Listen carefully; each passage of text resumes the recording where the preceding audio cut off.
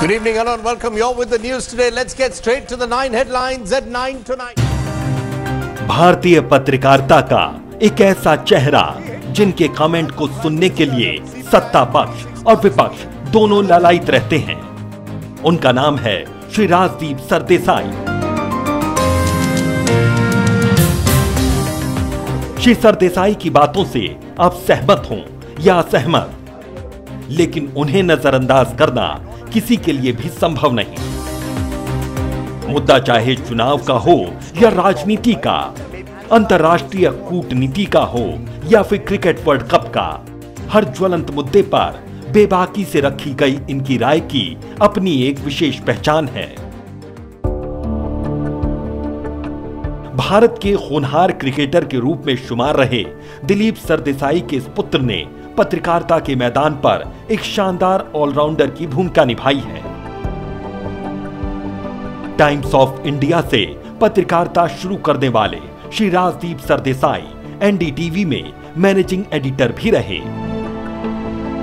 इसके बाद उन्होंने नेटवर्क 18 के न्यूज़ चैनलों में एडिटर इन चीफ की भूमिका निभाई। इस समय वो इंडिया टुडे ग्रुप के कंसल्टिंग एडिटर हैं। लेकिन संस्थानों से जोड़कर श्री राजदीप की पत्रकारिता का अंदाज़ा लगाना मुश्किल है। सच ये है कि राजदीप खुद ही चलते फिरते पत्रकारिता के संस्थान हैं। स्टूडियो के भीतर जितना समय उनका गुजरता है, उससे ज़्यादा वो फ़ील्ड में गुजारना पसंद करते हैं। पत्रकारिता के अलावा उन्होंने लेखन के क्षेत्र में जो हाथ आजमाया, वो नए पत्रकारों के लिए एक नजीर की तरह है।